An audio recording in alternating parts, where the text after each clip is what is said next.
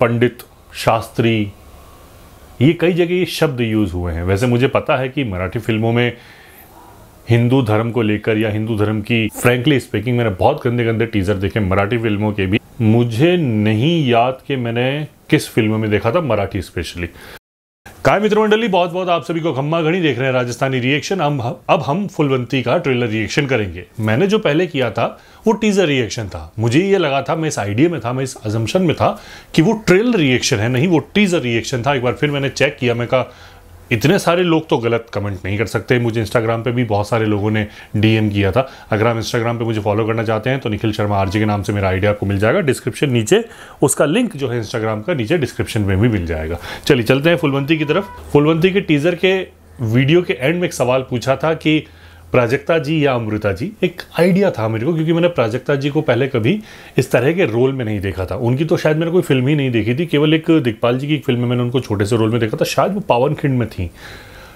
और अमृता जी का मैंने चंद्रा देखा था सॉन्ग तो इसलिए मैंने वो सवाल पूछा था, बाकी मेरी ऐसा कुछ नहीं था भाई, सारे के सारे वोट प्राजक्ता जी को पड़े। प्राजक्ता जी को डांस में देखना अच्छी बात। अमृता जी को एक भी वोट ना देना यह तो अच्छी बात नहीं है। शुभ रात्रि चलिए फ़िलहाल सारी बातें कट टू क्रैप अब हम चलते हैं फुलवंती का ट्रेलर स्टार्ट शास्त्री बुवांचा! शास्त्री बुवांचा! शास्त्री बुवा एवढी मोठी शास्त्र शास्त्रार्थ स्पर्धा जिंकून आपण धर्म पताका उंचावली त्या दरबाराला आपला अभिमान आहे. या दरबारात झालेल्या अपमानासाठी मला न्याय हवाय. असं द्रौपदी म्हणाली. फुलवंतीबाई आपण कुणावर आरोप करताय कळतंय का आपल्याला? आम्ही बृहस्पती मानतो त्यांना. मी जर खोट बोलत असन तर यांच्याच गळ्यातल्या तलवारीनं जीभ छाटा माझी. थांबा!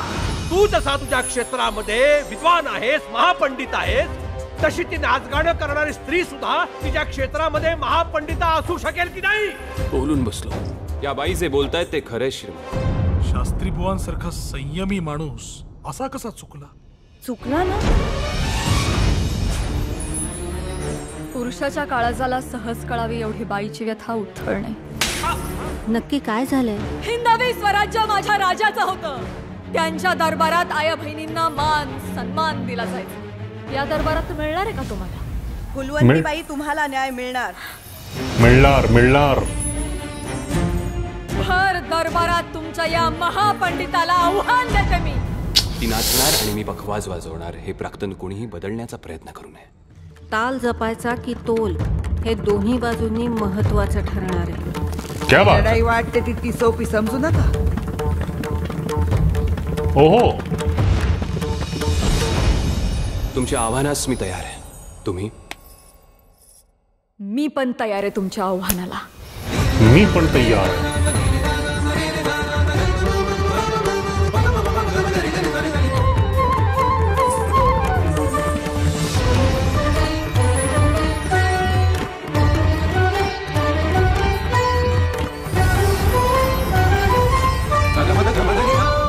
बकवास घुंगर शास्त्री बुवा फुलवंती आणि पेशवाई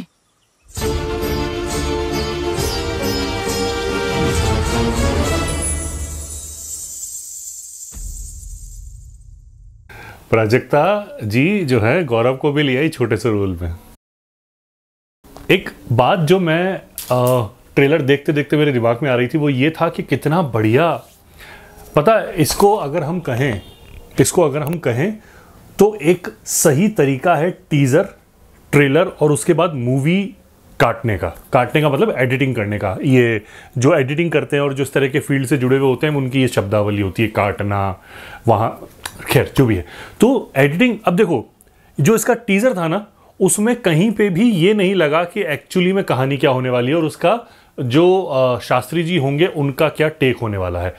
ट्रेलर में शुरुआत ही शास्त्री जी से करी है और यहाँ पे खुल के आई हैं अपनी जो नृत्य की है फुलवंती और वो उनको चैलेंज करती है और चैलेंज वो मान भी लेते हैं। वो कहते हैं कि आई समहाउ गुफ्टब जो नीचे सब आ रहा था, उस हिसाब से मैं बता रहा हूँ और उसका चैलेंज एक्सेप्ट करते हैं और वो अब डिटेलिंग बहुत बढ़िया है इसमें। वो सामवेद अपने सामने पढ़ते हैं शास्त्री जी।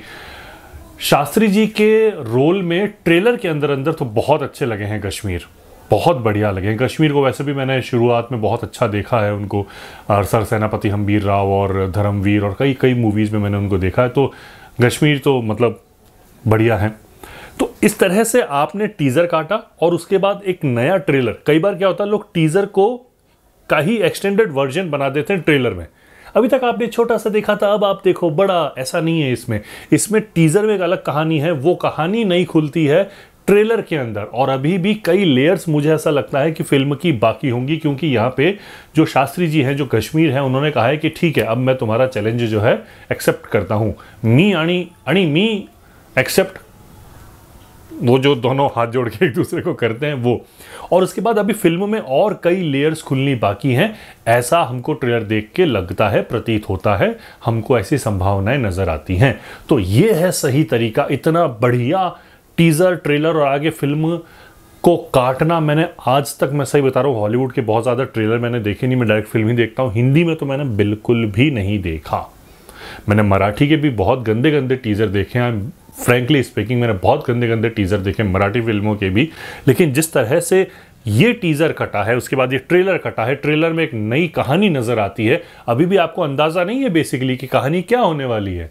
अब अगला कदम क्या होने वाला है? क्योंकि चैलेंज चैलेंज तो फुलवंती का शास्त्री जी ने एक्सेप्ट कर लिया है। उसके बाद क्या होगा, जो मैं बार बार बोल रहा हूँ कि जो लेयर अभी भी खुलनी बाकी है, वो फ़िल्म में खुलेंगी। इसीलिए सबसे पहले कहानी लिखने वाले को बहुत बहुत बधाई। एडिटिंग करने वाले को, कहानी कितनी भी अच्छी हो, अगर आपका एडिटिंग अच्छी नहीं है, अगर आपका ट्रेलर, टीजर और फ़िल्म अच्छी नहीं कटी है, यानी कि एडिट अच्छी नहीं हुई है तो फिर सब बेकार है और उसके ऊपर सबसे ऊपर डायरेक्टर ये जो तीन स्टेप्स है ना, कहानी लिखना, एडिटिंग करना उसकी और फिर उसका डायरेक्शन बहुत क्लासिक इन, ये तीनों मतलब ऐसे one two three one two three one two three हैं पूरी फ़िल्म में, इन्हीं के ऊपर पूरी फ़िल्म टिकी होने वाली है. दूसरा जो सबसे बड़ी बात मैं करने जा रहा हूँ, वो है इस मूवी का प्रोडक्शन लेवल उस तरह का महल दिखाना, उस तरह का दरबार दिखाना, उस तरह का जिस लेवल पे प्रोडक्शन हुआ है ना इस पूरी फ़िल्म का, झूमर आर्ट वर्क मुझे नहीं याद कि मैंने किस फ़िल्म में देखा था मराठी स्पेशली बहुत कंटेंट तो अच्छा होता ही है नो डाउट लेकिन अब यहाँ पे प्रोडक्शन लेवल भी बहुत अच्छा आया है तो प्राजक्ता जो इसकी प्रोड्यूसर भी है, उनका बहुत बड़ा बैंक बैलेंस ऐसे डावाडोल हो गया होगा, लेकिन ये मूवी बहुत अच्छी है, कमा के भी दे देगी अनडाउटेडली कमा के भी दे देगी।